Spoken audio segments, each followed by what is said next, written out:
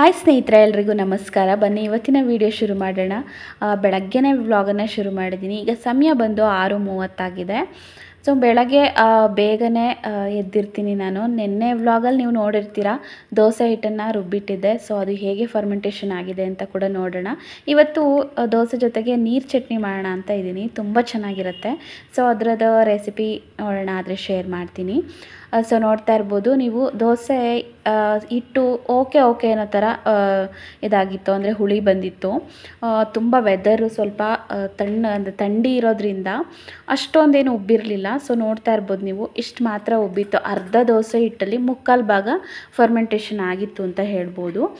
ಇನ್ನೂ ಚೆನ್ನಾಗಿ ಉಬ್ಬಬೇಕಿತ್ತು ಬಟ್ ಥಂಡಿಗಾಲ ಅಲ್ವಾ? ಸೊ ಹಾಗಾಗಿ ಹಾಗಾಗಿ ನಾನು ಈಗ ಒಂದು ಒಂಬತ್ತು ಗಂಟೆ ಅಷ್ಟರಲ್ಲೆಲ್ಲ ಚೆನ್ನಾಗಿ ಉಬ್ಬಿಡ್ತಿತ್ತು. ಸೊ ನಾನು ಬೇಗನೆ ಟಿಫನ್ ಮಾಡ್ತೀನಲ್ವಾ? ಸೊ ಹಾಗಾಗಿ ಈ ರೀತಿ ಇತ್ತು. ದೋಸೆ ಚೆನ್ನಾಗಿ ಬಂದಿತ್ತು. ಸಾಫ್ಟಾಗಿ ತುಂಬಾ ಚೆನ್ನಾಗಿ ಬಂದಿತ್ತು. ಹಾಗೆ ನೀರು ಚಟ್ನಿ ಮಾಡೋದಕ್ಕೆ ಹಸಿಮೆಣಸಿನ್ಕಾಯಿ ಬೆಳ್ಳುಳ್ಳಿ ಮತ್ತು ಕರಿಬೇವು ಈ ಮೂರನ್ನೇ ಎಣ್ಣೆಲಿ ಹುರ್ಕೊಂಡಿದ್ದೀನಿ. ಅದಕ್ಕೆ ಕಡಲೆ ಮತ್ತು ಈ ತೆಂಗಿನಕಾಯಿ ತುರಿ ಸ್ವಲ್ಪ ಜೀರಿಗೆ, ಹುಣಸೆ ಹಣ್ಣು, ಉಪ್ಪು. ಇಷ್ಟನ್ನು ಹಾಕಿ ರುಬ್ಕೊಂಡಿದ್ದೀನಿ ಸ್ನೇಹಿತರೆ. ತುಂಬಾ ಚೆನ್ನಾಗಿತ್ತು ಚಟ್ನಿ. ಇದಕ್ಕೆ ಸ್ವಲ್ಪ ಸಾಸಿವೆ ಒಗ್ಗರಣೆನ ಹಾಕೋತಾ ಇದ್ದೀನಿ.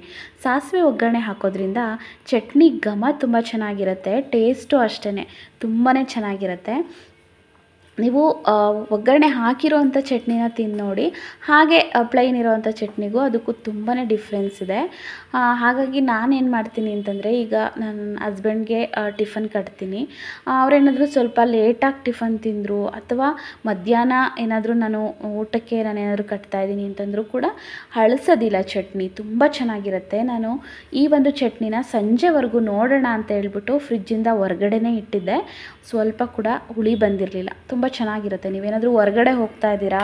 ಎಲ್ಲಾದರೂ ನೀವು ಬಾಕ್ಸ್ ಕ್ಯಾರಿ ಮಾಡ್ತಾ ಇದ್ದೀರಾ ಅಂತಂದರೆ ಒಗ್ಗರಣೆ ಹಾಕಿರೋ ಅಂಥ ಚಟ್ನಿನ ನೀವು ತೊಗೊಂಡೋಗೋದ್ರಿಂದ ಹು ಅಂದರೆ ಹಳಸೋದಿಲ್ಲ ಚಟ್ನಿ. ತುಂಬ ಹೊತ್ತು ಹಾಗೆ ಫ್ರೆಶ್ ಆಗಿರುತ್ತೆ. ಹಾಗೆ ನೀರು ಹಾಕ್ತೀರಾ ಗಟ್ಟಿ ಚಟ್ನಿಯನ್ನು ತೊಗೊಂಡೋಗಿ ತುಂಬಾ ಚೆನ್ನಾಗಿ ಇರುತ್ತೆ ಅಂತ ಹೇಳ್ಬೋದು. ಹಾಗೆ ದೋಸೆ ಹಾಕೋತಾ ಇದ್ದೀನಿ. ತುಂಬ ಚೆನ್ನಾಗಿ ಬಂದಿತ್ತು ಸಾಫ್ಟಾಗಿ ಬಂದಿತ್ತು. ಆದರೆ ಇನ್ನೂ ಸ್ವಲ್ಪ ಹುಳಿ ಬರಬೇಕಿತ್ತು ಅಂತ ಅನ್ನಿಸ್ತು. ಸೊ ಈಗ ದೋಸೆ ಹಾಕ್ಕೊಂಡು ನಾನು ನನ್ನ ಹಸ್ಬೆಂಡ್ಗೆ ಫಸ್ಟು ಟಿಫನ್ ಬಾಕ್ಸನ್ನು ರೆಡಿ ಮಾಡ್ಕೋತಾ ಇದ್ದೀನಿ. ನಾನು ಇವತ್ತು ಅವ್ರಿಗೆ ಕಂಟಿನ್ಯೂ ಶಿಫ್ಟ್ ಇರೋದ್ರಿಂದ ಲಕ್ಷ್ಮಿನ ಸ್ಕೂಲಿಗೆ ಡ್ರಾಪ್ ಮಾಡಿ, ಮತ್ತು ಅವ್ರಿಗೂ ಕೂಡ ಟಿಫನ್ ಕೊಟ್ಟು ಬರಬೇಕು. ದಿನ ಹೋಟೆಲಲ್ಲಿ ತಿಂದರೆ ಆರೋಗ್ಯ ಹಾಳಾಗುತ್ತೆ ಅಂತ ಅಷ್ಟೇ ನೈಟ್ ಕೂಡ ಹೋಟೆಲಲ್ಲೇ ತಿಂದಿದ್ದಾರೆ. ಮತ್ತು ಬೆಳಗ್ಗೆ ಟಿಫನ್ ಕೂಡ ಏನಾದರೂ ಇಡ್ಲಿ, ಉದ್ದಿನೊಡೆ ರೈಸ್ ಬಾತ್ ಈ ಥರದ್ದೆಲ್ಲ ತರಿಸ್ಕೊಂಡು ತಿಂದ್ಬಿಡ್ತಾರೆ. ಸೊ ಅವ್ರಿಗೆ ತುಂಬ ಗ್ಯಾಸ್ಟ್ರಿಕ್ ಸಮಸ್ಯೆ ಆ ಥರದ್ದೆಲ್ಲ ಏನೂ ಇಲ್ಲ. ಸದ್ಯಕ್ಕೆ ಆ ಥರದ್ದು ಏನೂ ಬರಬಾರ್ದು ಅಂತ ಹೇಳ್ಬಿಟ್ಟು ನಾನು ಮನೆ ಊಟನ ಜಾಸ್ತಿ ಪ್ರಿಫರ್ ಮಾಡ್ತೀನಿ ಅವ್ರಿಗೆ. ಯಾಕಂದರೆ ನನಗೆ ಅಸಿಡಿಟಿ ಇದೆ, ನನಗೆ ನಾನು ಏನು ನೋವು ಅನುಭವಿಸ್ತೀನಿ ಅಂತ ನನಗೆ ಮಾತ್ರ ಗೊತ್ತು. ಗ್ಯಾಸ್ಟ್ರಿಕ್ ಆಗಿಬಿಟ್ರೆ ತುಂಬಾ ಕಷ್ಟ ಆಗುತ್ತೆ. ಊಟ ಏನು ತಿನ್ನಬೇಕಪ್ಪ ಏನು ತಿನ್ನಬಾರ್ದು ಅನ್ನೋಷ್ಟು ಇದಾಗ್ಬಿಡುತ್ತೆ. ಸೊ ಸೆಲೆಕ್ಟ್ ಮಾಡಿಕೊಂಡು ಊಟ ತಿನ್ನೋ ಥರ ಆಗಿಬಿಡುತ್ತೆ ಗ್ಯಾಸ್ಟ್ರಿಕ್ ಆದಾಗ. ಹಾಗಾಗಿ ಅವ್ರಿಗೆ ಆ ಥರ ಆಗಿಲ್ಲ, ಮತ್ತು ಮುಂದೆ ಆಗಬಾರ್ದು ಅನ್ನೋ ಒಂದು ಉದ್ದೇಶಕ್ಕೋಸ್ಕರ ಲಕ್ಷಣ್ ಸ್ಕೂಲಿಂದ ಅಲ್ಲಿಗೆ ಒಂದು, ಒಂದೂವರೆ ಕಿಲೋಮೀಟರ್ ಏನೋ ಆಗುತ್ತೆ ಅಷ್ಟೇ ಹೋಗ್ಬಿಟ್ಟು ಟಿಫನ್ ಕೊಟ್ಟು ಬರೋಣ ಅಂತ ಹೇಳ್ಬಿಟ್ಟು ಇವತ್ತು ಅವ್ರಿಗೆ ದೋಸೆನ ಫಸ್ಟ್ ಹಾಕೋತಾ ಇದ್ದೀನಿ. ಈಗ ಸಮಯ ಬಂದು ಒಂದು ಏಳು ಕಾಲಾಗಿರ್ಬೋದು ಸ್ನೇಹಿತರೆ. ಈಗ ಲಕ್ಷನ್ ಕೂಡ ಹೇಳ್ಸಿದ್ದೀನಿ ಅವಳು ಸ್ನಾನಕ್ಕೆ ಹೋಗಿದ್ದಾಳೆ. ಇತ್ತೀಚೆಗೆ ನಾನು ಅವಳು ಅವಳ ಕೆಲಸನ ಅವಳೇ ಆದಷ್ಟು ಮಾಡ್ಕೋಬೇಕು. ಈ ರೀತಿಯಾಗಿ ನೋಡ್ಕೋತಾ ಇದ್ದೀನಿ. ಸೊ ಅವಳು ಸ್ನಾನನ ಮಾಡ್ಕೋತಾಳೆ. ಹಾಗೆ ಅವಳಿಗೇನಾದರೂ ಟಿಫನ್ ಬಾಕ್ಸ್ಗೆ ಹಾಕೋ ಅಂತಂದರೆ ಹಾಕೋತಾಳೆ. ಹಾಗೆ ಅವಳು ವಾಟರ್ ಬಾಟ್ಲಿಗೆ ನೀರು ಹಾಕೊತಾಳೆ. ಈ ಥರ ಪೂಜೆ ಮಾಡ್ತಾಳೆ. ಈ ಥರ ಚಿಕ್ಕ ಪುಟ್ಟ ಕೆಲಸಗಳನ್ನ ಅವಳಿಗೆ ಮಾಡ್ಕೊಳ್ಳೋದಕ್ಕೆ ನಾನು ಹೇಳ್ತೀನಿ. ಹಾಗೆಯೇ ಅವಳಿಗೆ ಈ ಥರ ಚಿಕ್ಕ ಚಿಕ್ಕ ದೋಸೆಗಳು ಅಂದರೆ ತುಂಬ ಇಷ್ಟ ಆಗುತ್ತೆ. ಹಾಗಾಗಿ ಪುಟಾಣಿ ದೋಸೆ ಹಾಕ್ತಾಯಿದ್ದೀನಿ ಈ ರೀತಿ ಟೈನಿ ಟೈನಿಯಾಗಿ ಅವಳಿಗೆ ಮಾಡಿಕೊಟ್ರೆ ಒಂದು ದೋಸೆ ತಿನ್ನೋದಕ್ಕೆ ಎರಡು ದೋಸೆ ತಿಂತಾಳೆ ಅಂತ ಹೇಳ್ಬೋದು. ಇವಾಗ ಎರಡು ದೋಸೆ ಹಿಟ್ಟಲ್ಲಿ ಆರು ಪುಟ್ ಪುಟ್ಟ ದೋಸೆನ ಮಾಡಿದ್ದೆ. ನಾನೇನಾದರೂ ದೊಡ್ಡ ದೋಸೆ ಏನಾದರೂ ಮಾಡಿಕೊಟ್ಟೆ ಅಂತಂದರೆ ಅವಳು ತಿನ್ನೋದೇ ಒಂದು ದೋಸೆ. ಹಾಗಾಗಿ ಇರುತ್ತೆ ಈ ಥರ ಟೈನಿಯಾಗಿ ಮಾಡಿಕೊಟ್ರೆ ಅವಳಿಗೆ ಇಷ್ಟ ಆಗುತ್ತೆ ಕ್ಯೂಟಾಗಿರುತ್ತಲ್ವ ಹಾಗಾಗಿ ನಾನು ಎಷ್ಟು ಮಾಡಿ ಪ್ಲೇಟ್ಗೆ ಹಾಕಿರ್ತೀನೋ ಅಷ್ಟು ಕೂಡ ತಿಂತಾಳೆ. ಈವನ್ ಬಾಕ್ಸ್ಗೂ ಕೂಡ ಅಷ್ಟೇ ಇವತ್ತಿಗೂ ನಾನು ಪೂರಿ ಮಾಡಿದ್ರೂ ಬಾಕ್ಸಲ್ಲಿ ಈ ಥರ ಚಿಕ್ಕ ಚಿಕ್ಕ ಪೂರಿಯನ್ನು ಮಾಡಿಕೊಡೋದು ಇಡ್ಲಿನೂ ಅಷ್ಟೇ. ಚಿಕ್ಕ ಚಿಕ್ಕ ತಟ್ಟೆ ಇಡ್ಲಿ ಮಾಡಿಕೊಡೋದು, ಈ ಥರ ಎಲ್ಲ ಮಾಡ್ತೀನಿ. ಅವಳಿಗೆ ತುಂಬ ಇಷ್ಟ ಆಗುತ್ತೆ ಅಂತ ಅಷ್ಟೇ ಹಾಗೆ ಚಟ್ನಿ ಜೊತೆ ಈ ದೋಸೆ ಕಾಂಬಿನೇಷನ್ ಅಂತೂ ಸಖತ್ ಟೇಸ್ಟಿಯಾಗಿತ್ತು ಇವತ್ತಂತೂ. ನಂಗೆ ತುಂಬಾ ಇಷ್ಟ ಆಯಿತು. ಆದಷ್ಟು ನಾನು ಜಾಸ್ತಿ ಹುರಿಗಡಲೆ ಚಟ್ನಿನೇ ಮಾಡ್ತೀನಿ, ಬಟ್ ಸಮ್ಟೈಮ್ಸ್ ಒಗ್ಗರಣೆ ಕೊಡ್ತೀನಿ ಸಮ್ಟೈಮ್ಸ್ ಒಗ್ಗರಣೆ ಹಾಕೋದಿಲ್ಲ. ಸೊ ಇವತ್ತು ಒಗ್ಗರಣೆ ಕೊಟ್ಟು ನೀರು ಚಟ್ನಿ ಥರ ಮಾಡಿದೆ. ತುಂಬ ಟೇಸ್ಟಿಯಾಗಿತ್ತು ಮತ್ತು ಈಗ ಲಕ್ಷ್ಮಿಗೆ ಟಿಫನ್ನನ್ನು ತಟ್ಟೆಗೆ ಹಾಕ್ತಾಯಿದ್ದೀನಿ ಎಕ್ಸಾಮ್ ಇರೋದ್ರಿಂದ ಅವಳಿಗೆ ಟಿಫನ್ ಬಾಕ್ಸ್ ತೊಗೊಂಡೋಗೋ ಹಾಗಿಲ್ಲ. ಹಾಗಾಗಿ ಬರೀ ತಿನ್ನೋದಕ್ಕೆ ಅಷ್ಟೇ ಈಗ ನಾನು ಲಕ್ಷಣ ಡ್ರಾಪ್ ಮಾಡಿ ಬಂದಿದ್ದೀನಿ. ನನ್ನ ಹಸ್ಬೆಂಡ್ಗೆ ಹಾಗೆ ಟಿಫನ್ ಕೊಟ್ಬಿಟ್ಟು ಮನೆಗೆ ಬಂದೆ. ಈಗ ಟೈಮ್ ಬಂದು ಒಂದು ಎಂಟು ನಲ್ವತ್ತಾಗಿತ್ತು. ನಾನು ಬರೀ ಸ್ಕೂಲ್ಗೆ ಡ್ರಾಪ್ ಮಾಡಿ ವಾಪಸ್ ಬರ್ತೀನಿ ಅಂದರೆ ಎಂಟೂವರೆಗೆಲ್ಲ ಮನೆಗೆ ಬಂದುಬಿಡ್ತೀನಿ. ಸೊ ಅವ್ರಿಗೂ ಇವತ್ತು ನಾನು ಹೋಗಿ ಟಿಫನ್ ಕೊಟ್ಟು ಬಂದನಲ್ವ? ಹಾಗಾಗಿ ಒಂದು ಹತ್ತು ನಿಮಿಷ ಜಾಸ್ತಿ ತೊಗೋತು. ಹಾಗೆ ಸ್ವಲ್ಪ ಟ್ರಾಫಿಕ್ ಇದ್ದರೆ ಸ್ವಲ್ಪ ಜ ಒಂದು ಐದು ನಿಮಿಷ ಜಾಸ್ತಿ ಆಗುತ್ತೆ ಅಷ್ಟೇ ಒಂದು ಕಾಲು ಗಂಟೆಯಿಂದ ಇಪ್ಪತ್ತು ನಿಮಿಷದಲ್ಲಿ ಇವಳನ್ನ ಡ್ರಾಪ್ ಮಾಡಿ ನಮ್ಮ ಮನೆಯವ್ರಿಗೆ ಟಿಫನ್ ಕೊಟ್ಟು ಬಂದೆ. ಸೊ ಬಂದ್ಬಿಟ್ಟು ಇವತ್ತು ಬೆಡ್ ಕೂಡ ನಾನು ಸರಿ ಮಾಡಿರಲಿಲ್ಲ. ಯಾಕಂದರೆ ಇವಳು ಹೇಳೋದೇ ಲೇಟಾಗಿ ಹೇಳ್ತಾಳೆ. ನಾನು ಎದ್ದು ಬರುವಾಗ ಅವಳು ಇನ್ನೂ ಮಲಗಿರ್ತಾಳೆ. ನಾನು ಆರು ಗಂಟೆಗೆಲ್ಲ ಎದ್ಬಿಡ್ತೀನಿ. ಸೊ ಆ ಟೈಮಲ್ಲಿ ನನ್ನ ಮಗಳು ಮಲಗಿರ್ತಾಳಲ್ವ? ಸೊ ಹಾಗಾಗಿ ನಾನೇನು ಮಾಡ್ತೀನಿ?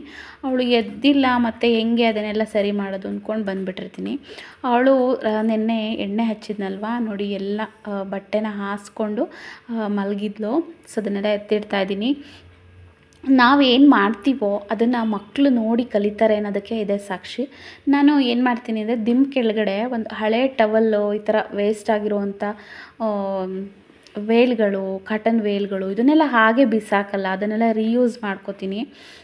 ಟವಲ್ ಏನಾದರೂ ಹರಿದೋಗಿತ್ತು ಅಂದರೆ ಅದನ್ನು ಕಟ್ ಮಾಡಿಬಿಟ್ಟು ಎರಡು ಪೀಸ್ ಮಾಡಿ ಈ ದಿಮ್ ಕೆಳಗಡೆ ಇಟ್ಕೊಂಡಿರ್ತೀನಿ. ಅದನ್ನು ಒಂದು ತಿಂಗಳಲ್ಲಿ ಒಂದು ಸಲ ವಾಶ್ ಮಾಡ್ತೀನಿ ಅಷ್ಟೇ ಈಗ ನಮ್ಮ ಮನೆಯವ್ರು ಏನಾದರೂ ಎಣ್ಣೆ ಹಾಕ್ಕೊಂಡಿದ್ರು ಅಂದರೆ ಪಟ್ ಅಂತ ಕೈಗೆ ಸಿಗುತ್ತೆ. ಅವ್ರಿಗೆ ಅದು ರೂಢಿಯಾಗಿರುತ್ತೆ ಅದನ್ನು ಎತ್ತಿ ದಿಮ್ ಮೇಲೆ ಹಾಕ್ಕೊಂಡು ಆರಾಮಾಗಿ ಮಲಗ್ತಾರೆ. ಸಮ್ಟೈಮ್ಸ್ ಇದನ್ನು ಹಾಕ್ಕೊಂಡಾಗ ಮೆಹಂದಿ ಹಾಕ್ಕೊಂಡಾಗ ತಲೆಗೆ, ಅವಾಗಲೂ ಕೂಡ ಬೆವರು ಏನಾದರೂ ಬಂತು ಅಂದಾಗ ಅವಾಗಲೂ ಅವಾಗ್ಲೂ ದಿಂಬೆಲ್ಲ ಗಲೀಜಾಗಿಬಿಡುತ್ತೆ. ಸೊ ಹಾಗಾಗಿ ನಾನು ಒಂದೆರಡು ಬಟ್ಟೆನ ಹಂಗೆ ಅಲ್ಲೇ ಇಟ್ಟಿರ್ತೀನಿ. ಅವ್ರಿಗೂ ಕೈ ಸಿಗುತ್ತೆ, ಬೇಗ ಹಾಕೋತಾರೆ. ನನ್ನ ಮಗಳು ಅಷ್ಟೇ ಅವಳಿಗೆ ಕೈ ಸಿಗೋ ಥರ ಇರುತ್ತೆ. ಪಟ್ ಅಂತ ಜ್ಞಾಪಕ ಬಂದಿದ ತಕ್ಷಣ ಅಲ್ಲೇ ಕೈಗೆ ಸಿಗುತ್ತೆ, ಹಾಕೊತಾರೆ. ಈ ರೀತಿ ಕೆಲವೊಂದಷ್ಟು ಅಭ್ಯಾಸಗಳನ್ನು ನಾವು ನಮ್ಮ ಮಕ್ಕಳಿಗೆ ಇವಾಗಿಂದನೇ ಮಾಡಿಸ್ಬೇಕು. ಅದೆಲ್ಲ ನಾವು ಅಭ್ಯಾಸ ಮಾಡಿಸ್ಲಿಲ್ಲ ಅಂತಂದರೆ ನಮಗೂ ಕೆಲಸ ಜಾಸ್ತಿ, ದೊಡ್ಡವರಾದಾಗ ಅವ್ರಿಗೂ ಯಾವ ರೀತಿ ಯಾವ ಕೆಲಸವನ್ನು ಮೇಂಟೈನ್ ಮಾಡಬೇಕು ಅಂತ ಅನ್ನೋದು ಕೂಡ ಅವರಿಗೆ ಗೊತ್ತಿರಲ್ಲ. ಹೀಗಾಗಿ ನಾನೇನು ಮಾಡ್ತೀನಿ ಅಂದರೆ ಈ ರೀತಿಯಾಗಿ ಅವ್ರಿಗೆ ಕೈ ಸಿಗೋವಾಗ ಈಗ ನಮ್ಮ ಮನೆಯವ್ರನ್ನ ಈಗ ಏನಕ್ಕೆ ನೀವು ಎಣ್ಣೆ ತಲೆಯಲ್ಲಿ ಮಲಗಿದ್ದೀರಾ, ದಿಂಬು ಗಲೀಜಾಯಿತು ಅಂತ ಬೈಯೋದಕ್ಕೆ ಆಗಲ್ಲ. ಸೊ ಅವರಿಗೆ ಒಂದು ಸಲ ಹೇಳಿಬಿಟ್ರೆ ಅವ್ರಿಗೆ ಅದು ಜ್ಞಾಪಕ ಇರುತ್ತೆ ಮತ್ತು ಎದ್ದು ಹುಡುಕ್ಬೇಕು ಅನ್ನೋ ನೆಸೆಸಿಟಿ ಇರಲ್ಲ ಅಲ್ವಾ? ಹಾಗಾಗಿ ನಾನು ಸ್ವಲ್ಪ ಈ ಥರ ಮೇಂಟೈನ್ ಜಾಸ್ತಿ ಮಾಡ್ತೀನಿ. ಹಂಗಾಗಿ ಮನೆ ಗಲೀಜಾಗೋದಿಲ್ಲ ಬೇಗ. ಮತ್ತು ಈ ಬೆಡ್ ಸ್ಪ್ರೇಗಳು ಅಷ್ಟೇ ಜಾಸ್ತಿ ಗಲೀಜಾಗಲ್ಲ ಈ ಥರ ಎಲ್ಲ ನಾವು ಸ್ವಲ್ಪ ಸ್ಮಾರ್ಟಾಗಿ ಯೋಚನೆ ಮಾಡೋದ್ರಿಂದ ಕೂಡ ಮನೇನ ನೀಟಾಗಿ ಇಟ್ಕೋಬಹುದು. ಹಾಗೆ ಸ್ವಲ್ಪ ಬಟ್ಟೆಗಳಿತ್ತು, ಅದನ್ನು ಒಗೆದಿದ್ದೆ. ಅದನ್ನು ನಿನ್ನೆ ಸ್ವಲ್ಪ ಮಳೆ ಇತ್ತು ಅಂತ ಹೇಳಿದ್ನಲ್ವ? ಸ್ವಲ್ಪ ತಣ್ಣ ತಣ್ಣಗಿತ್ತು. ಹಾಗಾಗಿ ತಂದ್ಬಿಟ್ಟು ಹಾಗೆ ಇಟ್ಟಿದ್ದೆ. ಈಗ ಬೆಳಗ್ಗೆ ಸ್ವಲ್ಪ ಹೊತ್ತು ಚೇರ್ ಮೇಲೆ ಬಿಸಿಲಲ್ಲಿ ಇಟ್ಟು ಅನಂತರ ನಾನೀಗ ಫೋಲ್ಡ್ ಮಾಡಿ ಇಡ್ತಾ ಇದ್ದೀನಿ. ಈ ಮಳೆಗಾಲದಲ್ಲಿ ಸ್ವಲ್ಪ ಬಟ್ಟೆಗಳು ತಣ್ಣಗಿರುತ್ತೆ. ತಣ್ಣಗಿರೋವಂಥ ಬಟ್ಟೆನ ಇಟ್ಟರೆ ಪಕ್ಕದಲ್ಲಿರುವಂಥ ಬಟ್ಟೆಗೂ ಕೂಡ ಶೀತ ಇಳ್ಕೊಳ್ಳುತ್ತೆ. ಹಾಗಾಗಿ ನಾನು ಸ್ವಲ್ಪ ಹೊತ್ತು ಬಿಸಿಲಲ್ಲಿ ಚೇರ್ ಮೇಲೆ ಹಾಕಿಟ್ಟು ಆಮೇಲೆ ಅದನ್ನು ಫೋಲ್ಡ್ ಮಾಡಿಟ್ಟೆ. ಮತ್ತು ಈಗ ನಾನು ಮನೇನ ತೋರಿಸ್ತಾ ಇದ್ದೀನಿ ಯಾವ ರೀತಿ ಇದೆ ಅಂತ. ಹಾಗೆ ಒಂದು ಮ್ಯಾಟ್ ಒಗ್ದಿದ್ದೆ. ಅದು ಸ್ವಲ್ಪ ಒಣಗಿರಲಿಲ್ಲ. ಎತ್ಕೊಂಬಂದು ಮನೆ ಮುಂದೆನೇ ಹಾಕ್ಕೊಂಡಿದ್ದೀನಿ ಯಾವಾಗ ಮಳೆ ಬರುತ್ತೆ ಅಂತ ಹೇಳೋಕ್ಕಾಗಲ್ಲ. ಹಂಗಾಗಿ ಸ್ವಲ್ಪ ಒಣಗಿದೆ ಅಂದರೆ ಬಟ್ಟೆನ ಎತ್ಕೊಂಬ ನಮ್ಮ ಕೈಗೆ ಸಿಗಂಗೆ ಹಾಕ್ಕೊಂಬಿಟ್ರೆ ಬೇಗ ಎತ್ತಿಡ್ಬೋದು ಅಂತ ಅಷ್ಟೇ ಈಗ ಬಾರ್ಬಿ ನೋಡಿ ಲಾಸ್ಟ್ ವೀಡಿಯೋದಲ್ಲಿ ನಾನು ನಿಮ್ಗೆ ತೋರಿಸಿದ್ದೆ ಬಾರ್ಬಿನ ಯಾವ ರೀತಿ ಡಿಸೈನ್ ಮಾಡಿದ್ದಾಳೆ ಅಂತ. ಇವತ್ತು ಅವಳಿಗೊಂದು ಹ್ಯಾಂಡ್ ಬ್ಯಾಗ್ ಕೂಡ ಮಾಡಿದ್ದಾಳೆ ವೇಸ್ಟ್ ಬಟ್ಟೆನ ನಾನು ಟೈಲರಿಂಗ್ ಮಾಡೋದ್ರಿಂದ ವೇಸ್ಟ್ ಬಟ್ಟೆನ ಅವಳಿಗೆ ಬೇಕಾಗಿರೋದನ್ನ ತೊಗೋತಾಳೆ ಕಟ್ ಮಾಡ್ತಾಳೆ, ಅವಳಿಗೆ ಏನು ಬೇಕು ಅದನ್ನು ಮಾಡ್ಕೊತಾಳೆ. ಬರೀ ಮಕ್ಳನ್ನ ಓದು ಓದು ಅಂತಲೇ ಹೇಳೋಕ್ಕಾಗಲ್ಲ ನಾವು. ಸ್ವಲ್ಪ ಓದುವಾಗ ಒಂದು ಸ್ವಲ್ಪ ಹೊತ್ತು ಫ್ರೀ ಟೈಮಲ್ಲಿ ಕೂಡ ಈ ಥರ ಆಟಗಳನ್ನ ಆಡ್ತಾ ಇರ್ತಾಳೆ. ನಾನೀಗ ಅಲ್ಲಿ ಏನು ತೋರಿಸ್ತಾ ಇದ್ದೀನಿ ಪುಟ್ ಪುಟ್ಟಾಗಿ. ಟ್ಯಾಬ್ಲೆಟ್ಟಿಂದ ಅದಕ್ಕೆ ಕ್ರಾಕ್ಸನ್ನು ಮಾಡಿದ್ದಾಳೆ. ಸ್ಲಿಪ್ಪರ್ಸ್ ಸ್ಲಿಪ್ಪರ್ಸ್ ಅಥವಾ ಕ್ರಾಕ್ಸ್ ಅಂತ ಹೇಳ್ತಾರಲ್ಲ, ಆ ಥರದ್ದು ನೋಡಿ ನನಗೆ ತೋರಿಸ್ತಾ ಇದ್ದೀನಿ ನಾನು ಯೂಸ್ ಮಾಡಿ ಬಿಸಾಕಿರ್ತೀವಿ ಟ್ಯಾಬ್ಲೆಟ್ನ. ಅದು ಹಾಗೆ ಇಟ್ಟಿದ್ದೆ, ಒಂದೇ ಒಂದು ಟ್ಯಾಬ್ಲೆಟ್ ಇತ್ತು ಅಂತ ಹೇಳಿಬಿಟ್ಟು. ಅದು ಖಾಲಿ ಆಗಿರೋ ಟ್ಯಾಬ್ಲೆಟ್ಟು ಇದನ್ನು ತೊಗೊಂಡ್ಬಿಟ್ಟು ಅದರಲ್ಲಿ ಬಾರ್ಬಿಗೆ ಸ್ಲಿಪ್ಪರ್ ಮಾಡಿದ್ದಾಳೆ. ಬಟ್ ಅದು ಸ್ಲಿಪ್ಪರ್ ಹಾಕೋದಕ್ಕಾಗೋದಿಲ್ಲ. ಅದು ಫುಲ್ ಕೆಳಗಡೆ ಫ್ಲಾಟ್ ಇದೆ. ಜಸ್ಟ್ ಇವಳು ಅವಳವಳ ಆಕ್ಸಸರೀಸ್ ಅಂತ ಹೇಳ್ಬಿಟ್ಟು ಅದನ್ನೆಲ್ಲ ಈ ಸರಗಳನ್ನ ಮಾಡೋದು ನಾನು ಕುಚ್ಚಾಕಕ್ಕೆ ತಂದಿರೋವಂಥ ಬೀಡ್ಸಿಂದ ಸರ ಮಾಡೋದು, ಈ ಥರದ್ದೆಲ್ಲ ಮಾಡ್ತಾ ಇರ್ತಾಳೆ. ಮಕ್ಕಳಿಗೆ ಈ ಥರ ಕ್ರಿಯೇಟಿವಿಟಿ ನಿಜವಾಗ್ಲೂ ಮುಖ್ಯ ಅಲ್ವಾ? ಸೊ ಹಾಗಾಗಿ ವೇಸ್ಟ್ ಯಾವುದೂ ಆಗಲ್ಲ ನಮ್ಮ ಮನೇಲಿ. ಎಲ್ಲದನ್ನು ರೀಯೂಸ್ ಮಾಡ್ಕೋತಾಳೆ ನನ್ನ ಮಗಳು. ಈಗ ಮನಿ ಪ್ಲ್ಯಾಂಟನ್ನು ನಾನು ಇಲ್ಲಿ ಒಂದು ಗಾಜಿನ ಬಾಟಲಲ್ಲಿ ಹಾಕಿ ಇಟ್ಕೊಂಡಿದ್ದೀನಿ ಸೊ ನಮ್ಮದು ಮನಿ ಪ್ಲ್ಯಾಂಟ್ ಏನಿದೆ, ಅದನ್ನು ತುಂಬ ಚೆನ್ನಾಗಿತ್ತು ಮೇಯ್ನ್ ಡೋರ್ ಹತ್ರ. ಅದನ್ನು ಹಿಳಿ ಕಚ್ಚಿಬಿಡ್ತು ಹಾಗಾಗಿ ಅದು ಒಣಗೋಗ್ತಾ ಇತ್ತು. ಸರಿ ಅಂದ್ಬಿಟ್ಟು ಅದನ್ನು ಮತ್ತೆ ನಾನು ರೀಪಾಟ್ ಮಾಡೋಣ, ಬೇರೆ ಪಾಟ್ಗೆ ಹಾಕೋಣ ಅಂತ ಹೇಳ್ಬಿಟ್ಟು ಈಗ ನೀರಲ್ಲಿ ಇಟ್ಟಿದ್ದೀನಿ ಅದು ಚಿಗುರು ಬರ್ತಾ ಇದೆ. ಸೊ ನೋಡಿ, ನಾನು ನಿನ್ನೆ ತೋರಿಸಿರುವಂಥ ಪಪ್ಪಾಯ ಗಿಡ.